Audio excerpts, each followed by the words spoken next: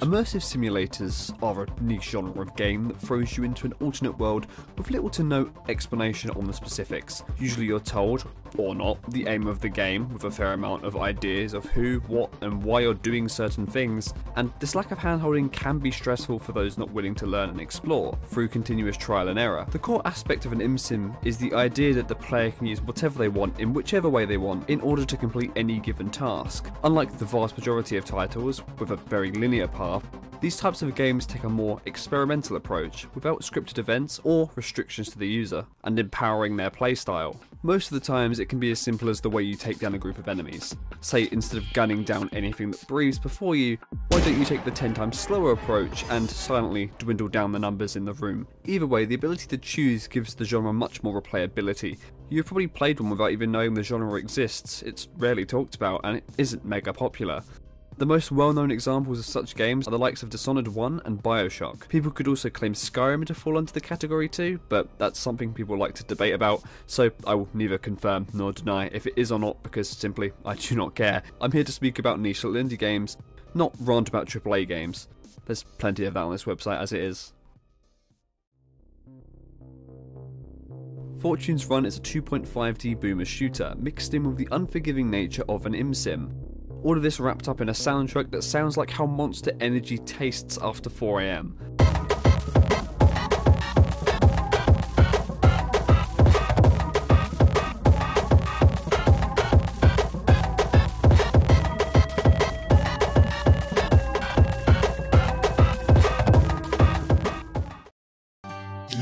Invigorating, isn't it? Starting in the campaign, we discover core game mechanics whilst following a purple stranger for a mountainous planet called Uvardin, which is explained to you as your home planet, but Moser, the main character that you play as, has no recollection of the state that you currently see it in, even referring to Uvardin as a frozen dead rock. This place is Uvardin, our homeworld. It has always been with you, inside your veins. This can't be real. I've seen pictures. Vardin's a frozen rock. Real is complicated. But yes, this is merely a memory. A casualty to the progress of man. This is probably why we see no other similar species here, or life at all for that matter. From the little information you gather with the purple figure, you do learn that the humans built machines that tore through the skies. So the inhabitants of the planet kind of just boarded those ships. We don't know if this is willing or not, but this kind of led to them becoming more dependent on man-made supplies. Moser shows little desire herself to escape the chains of a spacebound life. Yeah, I've heard all that. So what? You want to live in a shack trying to catch fish all day? Ah, yes. Technology, medicine, convenience. You think we had none of these before they came? She says this as a retort, implying planetary living is almost primitive. The figure before you also explains his similar background, claiming that he worked for the highest bidder, so we can assume human colonies enslaved various alien races for economic growth or some other unknown benefit, with Moser being a casualty of this, which has altered how she sees herself, her freedom, and her entire personality. One of the most notable features in this messy, maximalistic style is the player's HUD. It displays your ammo count, the armor collected, and it even comes with a portrait of your character, which will become more bloodied as you take incoming fire. The health bar is tucked away in the far right corner, and there's even a 3D wireframe map on your left. It also involves 3 days free of Amazon Prime. What can't it do? Sparring with allows you to learn the importance of knocking down the guard of enemies by punching into blocks, charging blows, and timing uppercuts. Kicking can also be utilised to guard break foes immediately, leaving them open for follow up attacks or even combos. But because this is an immersive sim, you have the option to sneak past fights entirely. Ooh, play away. Almost feels like you're not dictating my every move for a second there. Life is full of predetermined outcomes. Sometimes it is the journey.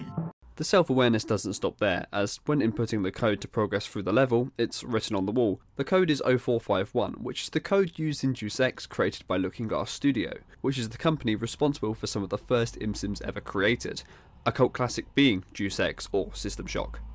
Turns out this was all just a memory, and the goggles lift from your face. Moser learns the identity of the purple figure before her. His name? Kwansari Nat. But other than his name, all we know is he purchased Moser's life, which is the last thing we ever see before we see him die in a shootout in a nondisclosed location. Nothing but guilt and cycles.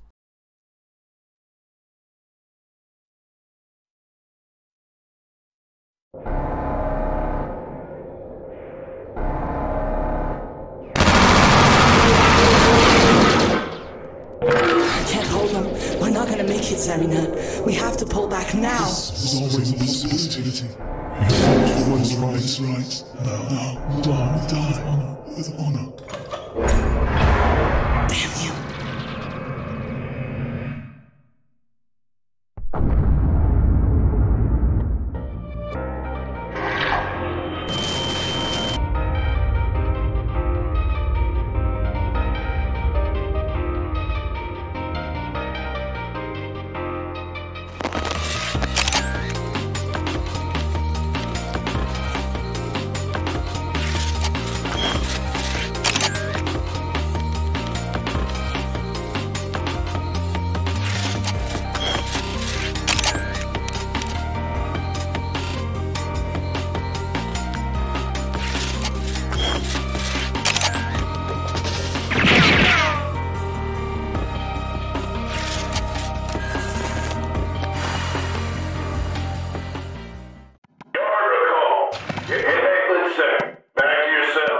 Behind bars, Moser is given a contract through her cell door, which reads Greetings. You have been selected for participation in the Double Happy Food Industrial Conglomerate Work Release Program. This opportunity for social reinsertion has been arranged for by the RBR Deep Space Correction Serious Offender Rehabilitation Program. You will be relocated to a Double Happy Foods Industrial Conglomerate operating location immediately. As part of your duties, you will be expected to carry out confidential assignments to safeguard and develop double happy food industrial conglomerate assets. You will be compensated in sentence reduction credits and a weekly allowance of Bene Zabran Fiat delivered to your account at the RBR Deep Space Corrections Inmate Pension Fund. The currency will be released to you at the discretion of Star Federation with regards to your present outstanding debt of Six zero zero zero zero zero zero zero zero zero zero. BZF. At the current rate of payment, based on your total sentence of Three hundred and sixty-eight years. the duration of your work release assignment has been estimated at Three hundred and thirty-one years, two months, and thirteen days. for a total of Ten percent. reduction in time served. If you wish to be assigned a case manager to assess your eligibility for our program, print your name and inmate number in block letters below this line with a dated signature and return this form to a custody officer. With regards, Double Happy Food Industrial Conglomerate Inmate Correspondence Facility. In preparation of the first mission, agents have already disposed of one of the pirates who is heading to the FSS Pinafore, which is a derelict ship which has stolen some of Double Happy Industries' cargo and now it's our job to return it. Whilst disguised in the Starbug, a space vessel used by pirates, the scavengers see Moser's face, recognising her from wanted posters, and instantly open fire. With a narrow escape through a hatch in the ceiling and a pod full of dead men, we get to infiltrate the Pinafore, which when inside feels incredibly claustrophobic. But in actuality, is a massive vessel, even in its abandoned state. The first encounter with another living being is a foreman sitting on top one of the pylons navigated on the outside shell of the Pinafore. And although he's not hostile in any way, he will be the only real friendly encounter that you ever have on the ship. But you can't be too safe, so feel free to kick him into the void. The ship's condition is made apparent after entering as vines are sprouted from the floor, overflowing what was once an open room. You're left alone now, just you against everyone aboard the Pinafore. Except Alexa. She's here to help you with all your tasks. And you can give her a call if you find out that you've completely forgot what you're doing, which is a great feature, though it is embarrassing the amount of times I had to call her up to remember what I was actually doing in the mission in my first three playthroughs. And to rub salt in the wound too, I was being billed for every call. True UK moment. But at least you don't need a TV license in the New Zabra region of space. Congratulations on boarding the vessel. Your objectives are being updated. Please stand by for further instructions. In addition to completing the primary objective, you may want to investigate the ops module in order to secure equipment for your mission. Look, this isn't my first rodeo, alright? Thank you for your feedback. I understand. Are you requesting that automated help be suspended for this session? Yes. I understand. Automated help will be limited to mission critical objectives for this session. Similar to Dark Souls, players can leave notes for each other during their playthrough to help them prepare for upcoming challenges. But unlike Dark Souls, you're restrained to using a select amount of words, which is probably to stop spoilers or just writing various slurs on the wall. Unarmed, you face your first bunch of enemies who will be seen inhabiting the entire vessel, but for now there's just two plain Zabran smugglers. It's quite easy to rush them head on because the melee in this game feels like playing a fighting game, because if you land enough hits on the helpless victim, they'll be stun locked into oblivion, leaving them with no choice but to succumb to the half circle smackdown. And if that wasn't enough, you can even get your hands around their neck, holding them helplessly while you give them the Gotham City treatment. Preserving your HP as much as possible makes survival in the long run much more bearable, because although the first room wasn't difficult, there's more factors that come into play that makes it so much more challenging. Opening the door opens up a small side room with a med injection, so if you did take any damage in those previous fights, it is actually kind of forgiving here, but there are only two guys there, so leaving without a scratch is pretty easy. There are also lockers to the right and some pistols sitting there, you can unload these to add more bullets to your inventory. Past this room there is a large opening with four patrolling Zabran smugglers. The way they are spread out makes this fight really easy to get past, but if not planned out can go quite wrong. For example, one of the smugglers will walk from right to left, lining himself up with the other smugglers in the room. By waiting for them to line up, you can take him out when he's in front of the other enemies so you've never got your back to anyone so no shots can be shot at you while you're not aware of it and that smuggler behind him always takes cover behind the table, so he'll never break line of sight. And after they're dealt with, there's actually a guard who's in the corner, secluded on his own, and you can sneak up on him and pummel him without sound. This room overall not only serves as a really good tutorial on how to set up your approach or even how to use stealth, but it also has two key items that are exclusive to this room. This strange cube that has its own altar and has something that looks like a sacrificial knife on the table, and some ramen? Take both of these items for some regen and some extra bit of melee damage. The second exclusive item is the basketball. It's not useful at all, but you can be balling in space, and that's pretty cool. Also, I'm currently in my basketball percent speedrun where I'm going to take the basketball into the last part of the game, because I can. There are two exits to this room, an upstairs route and a door beside the cube shrine. The shrine door takes you through the sleeping quarters, but the upstairs route will lead you to the first of three mini-bosses uh, the Zabran Shadow Walker.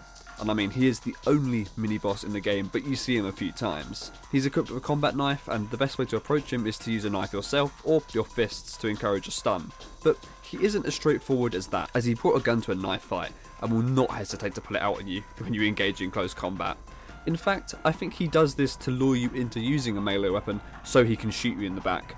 Because when I use my gun, he wants to charge me with a knife, but when I charge him with a knife, he pulls out a gun on me.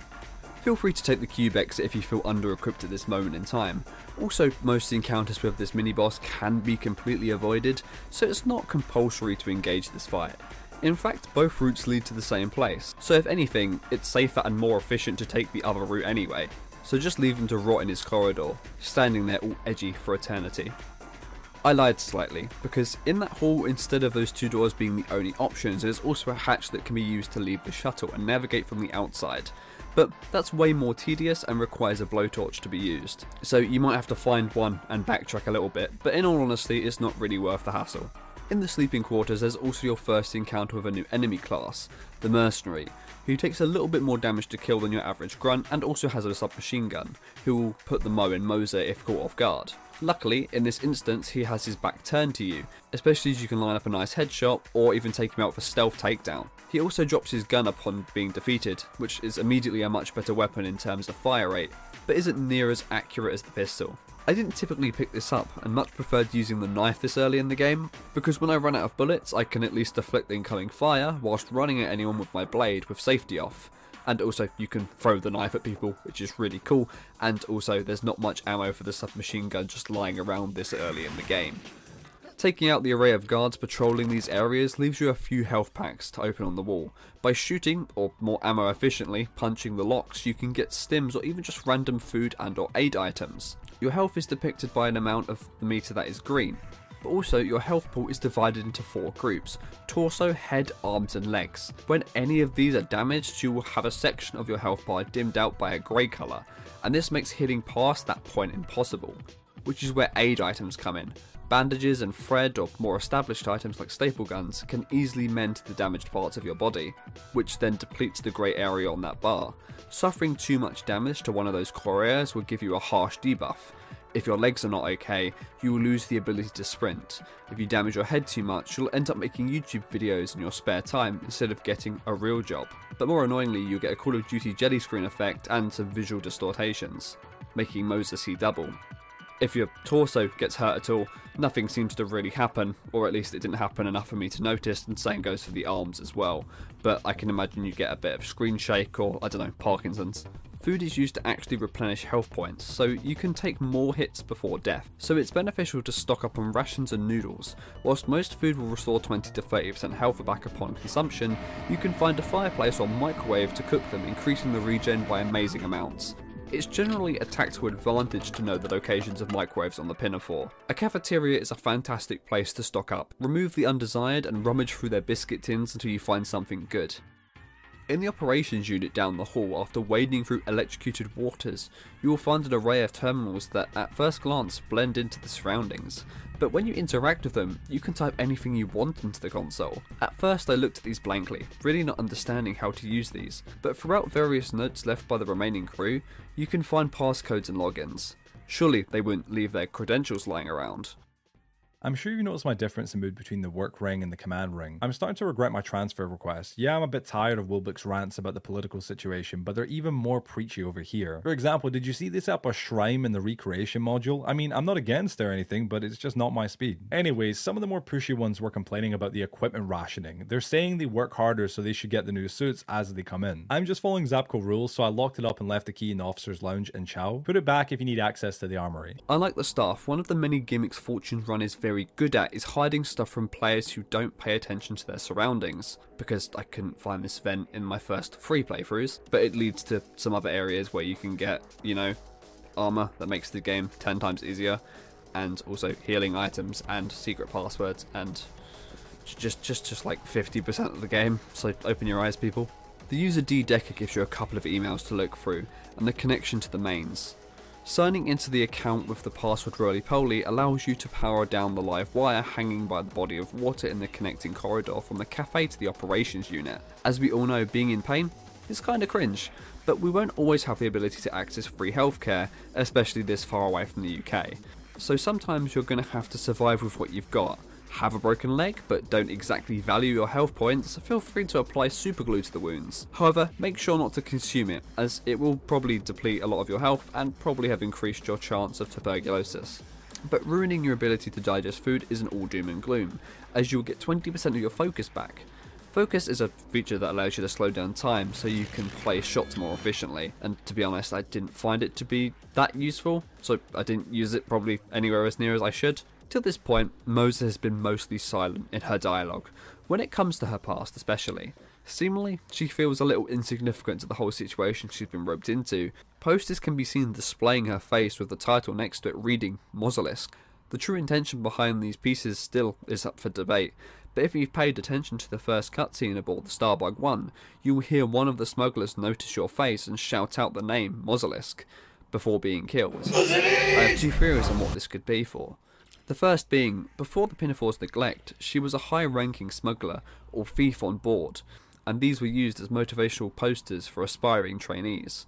We know this as in her conversation with Quan Savinat, she explains herself as a thief, so it would make sense if she's on a smuggler ship or something similar. Or more likely, Moser's relation to the posters could be propaganda to celebrate her captivity, as the distraught look on her face shows the sight of a defeated enemy of the Federation. It's also hard to tell if her face is branded with another mark, like the symbol on her wrist, or she has blood on her face, like in the hard menu after being damaged. Either way, she had clearly been a significant character amongst the conflict, though due to her memory loss, it's hard to tell where she currently stands. And even if she is remembering everything that's going on and knows her place in the world, she doesn't bring it up a lot.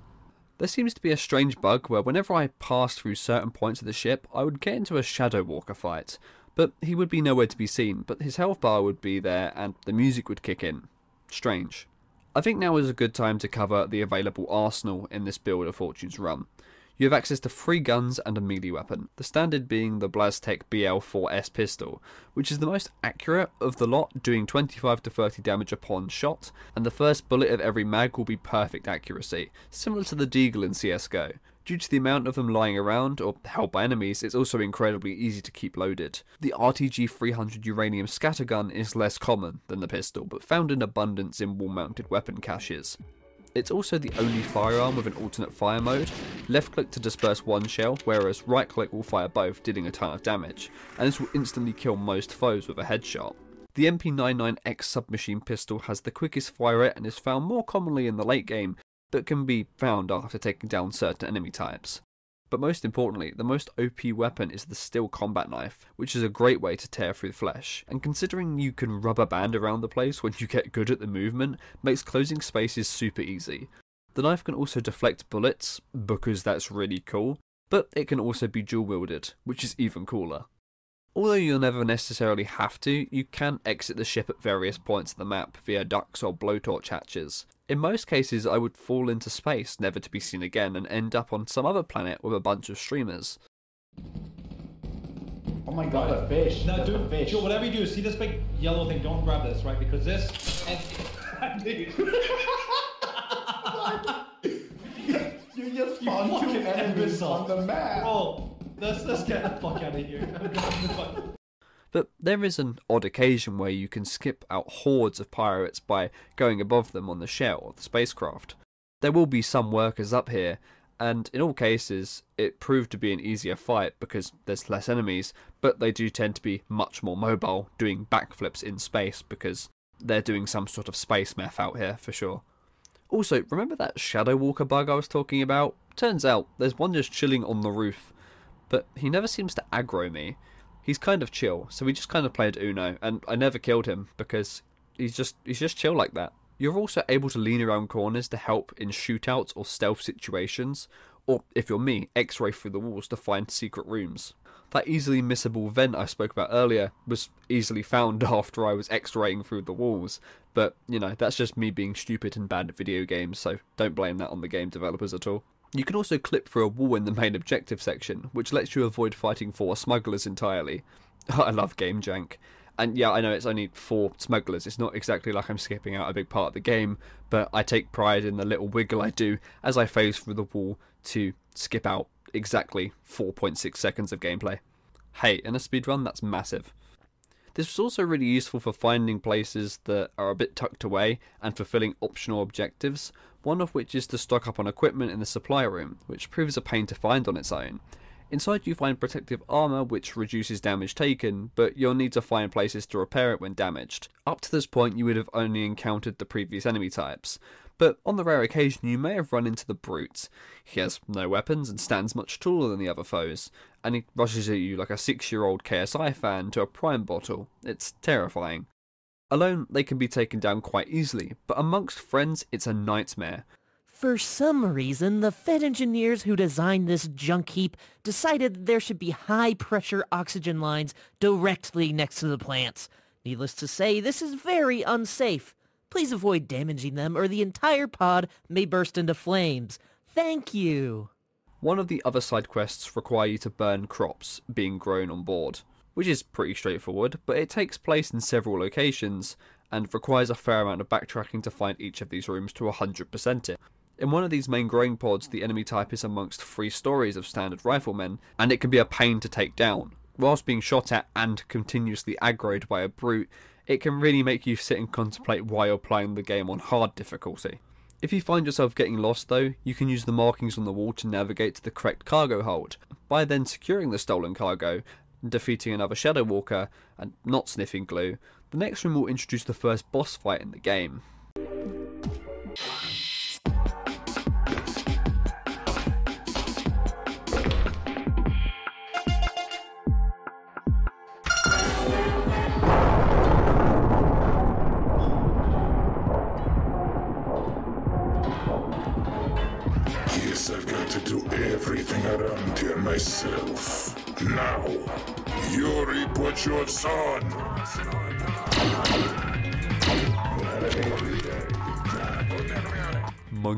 Also known as Bleebok, who even though is the first proper boss, is also probably the most irritating. His moveset consists of tethering you to the ground, then noob tubing you until you combust into space dust. Either side of the room has a stim pack locker, so if you're low on meds, rush these first so you limit the chances of being instant killed and gibbed into oblivion. Strafing around with a scattergun typically gets the job done, but being hit by a tether is almost always a game over. So watch out for the short animation where he swings it at you. His death grants a red keycard that will unlock a cargo hold. Using the terminal nearby will allow you to power it on and give you a free ride to the zero G section of the Pinafore. which sounds easy enough, but damn, did I not understand what to do before this. So let me break it down. So essentially, get the keycard, open the lock on the terminal, now type in device CTL, which admittedly I thought said device sectal, which is like a weird computer dinosaur name, but no, it's just d- device CTL, which makes a lot more sense. And this is a command you will use a lot on the terminals. If you follow up with a hyphen L, you'll be given a list of items that device CTL can interact with. But to initiate an item, give it the order device CTL hyphen D for device, the device name, and then hyphen S, and then what you want it to do. So the action. So an example would be device hyphen D power hyphen S on. So just do that with the cargo hold and wait for it to start rising. But then quickly, and I mean quickly, crouch and walk to the cargo lift and fit into this Minecraft sized hole that will be lifted out of the room. In this section, I gathered one thing motion sickness. The camera orientates to whichever surface you glide to, as you're now restrained to using iron bars along the walls to traverse in low gravity. You will find a shuttle area that will take you to a different part of the pinafore. Keycards are used a lot here to bypass locked doors, but what's that? The game has immersive sim elements, so why don't you just go ahead, buddy, and hop in that vent and shoot the door's power source? Wow, I feel like I'm playing the game my way.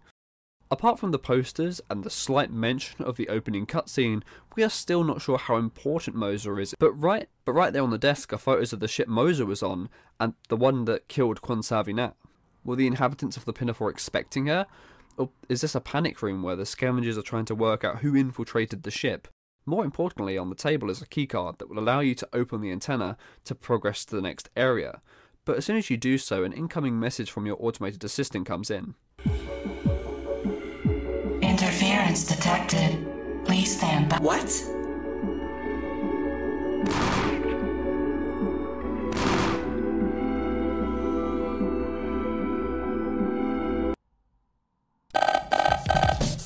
What's happening? A third party has interrupted the transporter data stream. The sensitive cargo has been exfiltrated to an unknown location. In addition, the hijackers are boarding the vessel and appear hostile.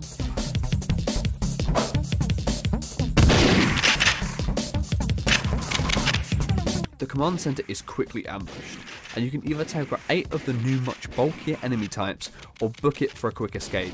These enemy types are much more tactical than previous.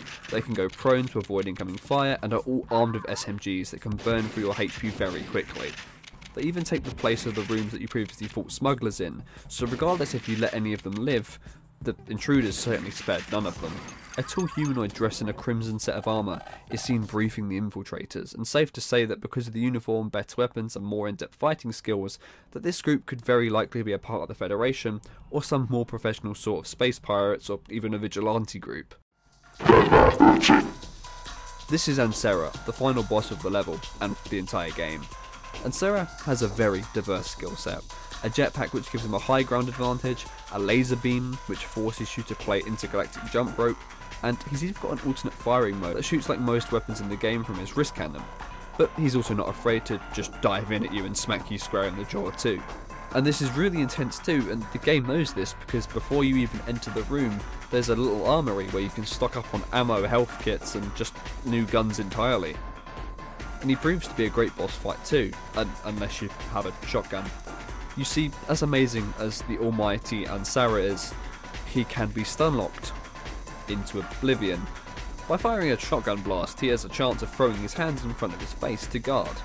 When this happens, if you repeatedly mash the fire and reload key at the same time, you can wipe his entire health bar in just 40 seconds. But he does absolutely beat your ass on the fucking raw difficulty, so I'll take this small victory. And that is essentially Fortune's Run's content. There is a demo from 2023 and it has a lot of content in it and unused weapons like uh, sniper rifles and even rocket launchers, which are amazing and fun to use. But the devs themselves have actually claimed this to be non canon, so I left the analysis on that alone. But it's definitely worth playing and just get a bit more personality from her, even if it's not going to be in the final game. The reason I want to talk about this game is because of the sheer immersion it brought to me.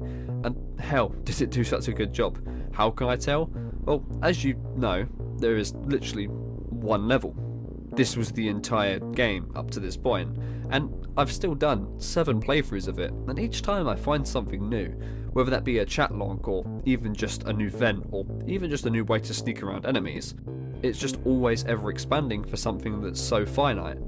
Another reason being, less is more. Moser is a really unique character, and her having such a vague tie to other characters like Quan Savinat or even the scavengers aboard the Pinafore, it leaves so much room for speculation and makes reading into the world around her so much more interesting. But simply, I cannot do this game justice in a video, and I'd recommend supporting the devs and checking it out. And also, I've paid £50 on AAA games and had not even half the fun I had on this and this cost me what 16 pounds? And i bought the soundtrack which was another 8 pounds. And oh my god dude if you're not going to play the game just just buy the soundtrack. Just it, it, it's like audio meth. It's audio crack. And it, it, uh, it turns me on